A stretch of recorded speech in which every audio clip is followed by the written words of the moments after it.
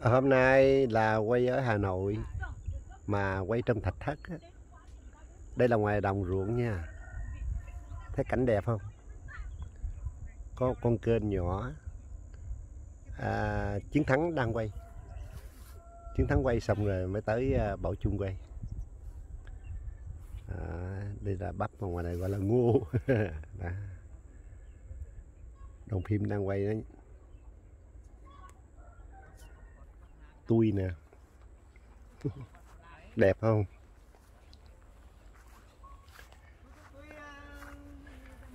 Đây là đoạn phim đang quay. Cảnh ngoài này đẹp quá. Quá đẹp luôn. Cảnh này là quay ca nhạc là hết sảy luôn á.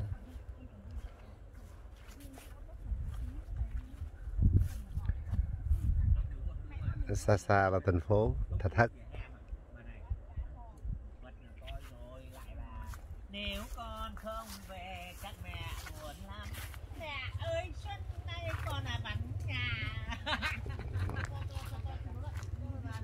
À diễn đây dàn diễn viên. Vườn râu à, vườn râu là đạo diễn. Mà cưới đi kèo ế năm. À, cưới nhau cỡ ế năm. Mà vừa là chủ luôn. Mà vừa đạo diễn nữa. À, vừa lát đi lụm rác nữa tùm lum hết trơn à. làm tất. Mà chả Hôm nọ ông vẫn đặt 10 nghìn đây mà là hết đâu. Xuân Nghĩa em Xuân Hinh Trong hàng cho mẹ chạy ra đây mẹ xem tí. Thôi để tôi đi cho À, cần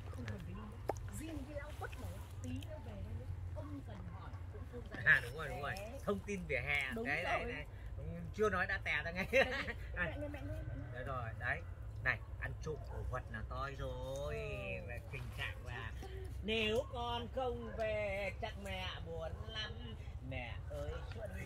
nay con ở vắng nhà. Thế rồi. Xin chào đại gia đình. Chào gia đình. chào đại gia đình. Chúc đại gia đình nhà mình có hạnh phúc. Hy vọng có một đợt được Anh vào trong mặt đây diễn cùng anh. Bảo Trung y có đúng không? đây là chiến thắng.